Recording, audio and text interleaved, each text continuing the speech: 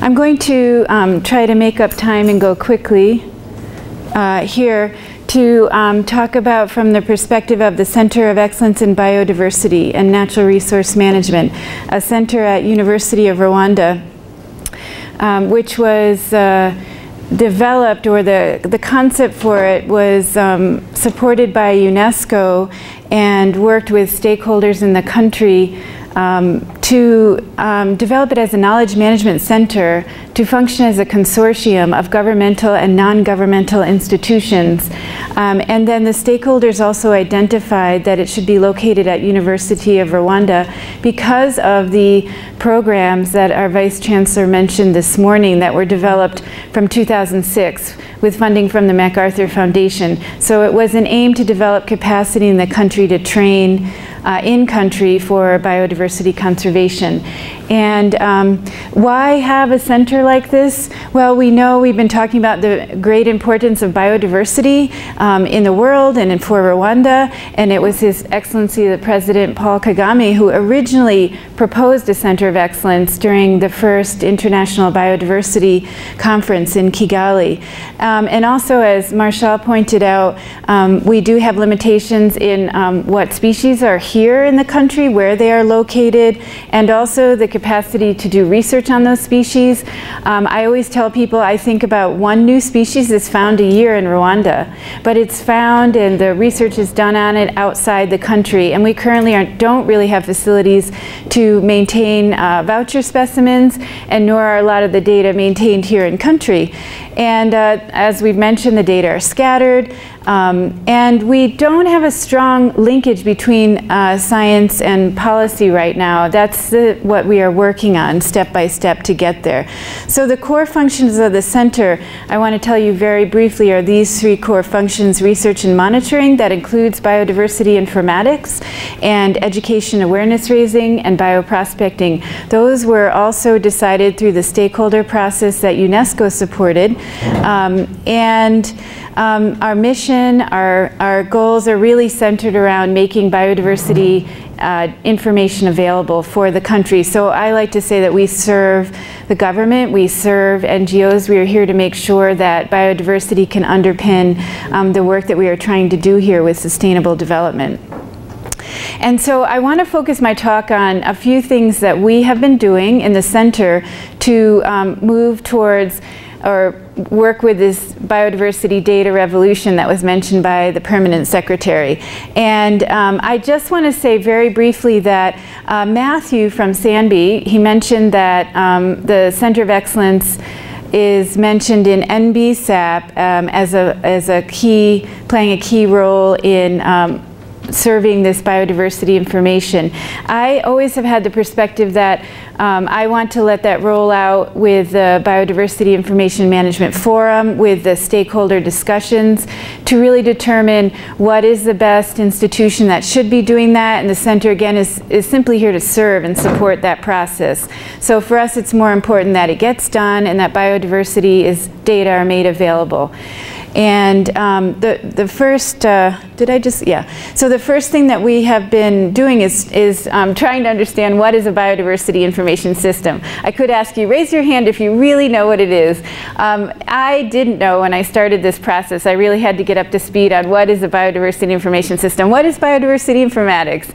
So I think you've heard a bit from Michael, about, uh, Matthew, about um, what that is, but um, just very simply, it's a way to get data available. And we have been um, trying to do that um, through this uh, very small steps with partners, working with partners. I can really say that we got into it first with SANBI through this African Biodiversity Challenge, um, where we were tasked or challenged to mobilize biodiversity data in freshwater ecosystems. And so that information system is making information available. I think I'm not going to go through this very in detail because you heard a lot about it in Matthew's talk. Um, but these are various components and you saw his perfect examples there, so I'm going to skip through this. Um, I also, because I had to do a lot of studying to understand what this is, I kind of like this slide just showing that it's just these folders of uh, but virtually of different um, data sets or kinds of information that can go together to inform policy. Um, and for us, we also learned that it's very interdisciplinary. So we have been working with people from IT, we have been working with um, biodiversity experts, we have been working with um, statisticians and GIS experts.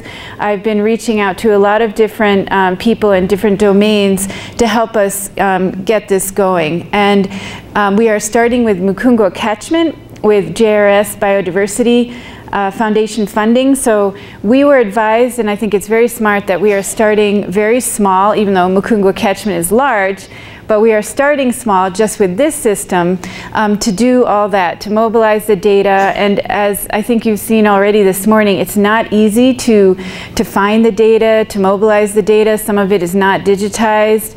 Um, some of it doesn't have georeference locations. Much of it is outside of the country. So we are working on this system first um, to really help us to understand what it is and to make sure that all of our stakeholders, all of you, know why it's important and make sure that you are able to use it because it's really not useful if you are not using it for your needs. Um, and we are looking at it as a biodiversity atlas essentially and we hope to include a citizen science component in that as well and that's also where we hope to partner with um, different institutions here. Um, you've already heard about the first um, Biodiversity Information Management Forum. Um, Marshall talked about that but I just want to say that it was just so exciting. Many of you were there and it was, um, you know, as Matthew showed over South Africa doing this for 10 years. I think it has a tremendous potential to bring us all together as data providers and data users um, of, for this information. Now, I want to mention a couple of other projects we have because it happens that the projects that we are working on right now really come together in a synergy about mobilizing biodiversity data. So this morning the Vice Chancellor mentioned the National Herbarium um, was uh, gifted to us when we happened to get a grant. We were working with uh, partners in the uh, Institute of Museums and also um, NIRDA and, uh, and NIRDA was currently holding the herbarium. And when we got the grant, they said, well, why don't you go ahead and manage that? Um, so that was a big task, and we've been getting up to speed with that. But we are digitizing it, so eventually those data will be available. And we, in the process of doing this, found there are thousands and thousands of records of plants in Rwanda located outside Rwanda that we plan to link with um, the National Herbarium of Rwanda. Um, and then, and I think I can say through this process, we are also learning about creating the information system that will host that and then make it easily accessible for users.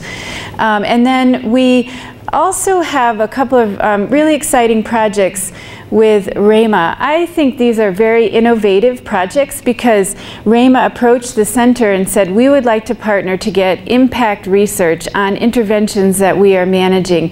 One is in the Gishwati Mukura landscape.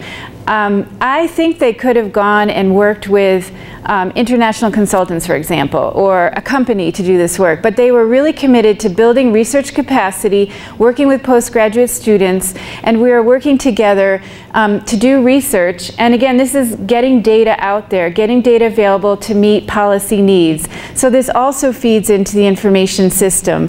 And um, the, very briefly, the, that project is looking at um, improving ecosystem management through different interventions like silvopastoral, agroforestry, biodiversity conservation. And the, um, yeah, I'm going to skip through this just quickly that we are supporting 16 students with REMA and the LAFREC project who are doing their research. Um, and it's really an interdisciplinary project. They're coming from two colleges and several different programs. Um, and then the, the other project that we have with REMA is ecosystem-based adaptation. Matthew mentioned this is another um, big initiative that's happening in many different countries. And again, we, um, we're so honored to have REMA come and approach us and say, we would like to work with the center and with um, postgraduate students and we didn't keep it locked into you know master students in biodiversity program. We wanted this to be interdisciplinary. So now we are working with 10 students from different programs across the university again to gather data and information about how these interventions are working. Um, I'm going to skip through that to get to another um, project that we did, a very small project. This was a tiny amount of money. I think we had 3,000 euros, but we um, worked with some different partners to look at um, biodiversity indicators and buffer zones. Um, we think this is a really important project because we have very little information about buffer zones, and yet they can play an incredibly important role in um, conservation and protected areas. And the data that we collect will feed also into the biodiversity information system. And this was with a partner, the Royal Belgian Institute of Natural Sciences, which, by the way, also has a lot of data from Rwanda. Um, in their collections. And then another project that we worked with with REMA and with UNDP was um, creating an inventory of ATK, so that is um, traditional knowledge associated with genetic resources. And in uh, this project, we also have documented the distribution of information. So this is linked to biodiversity and traditional knowledge associated with biodiversity. So um, these are just some of the projects that we are working on now that um, for, for us in the center, we're excited that it's all coming together on this common synergy about mobilizing biodiversity data and making it available for policy and decision making. So thank you very much. I'm going to end with that. And yeah, thank you. Um,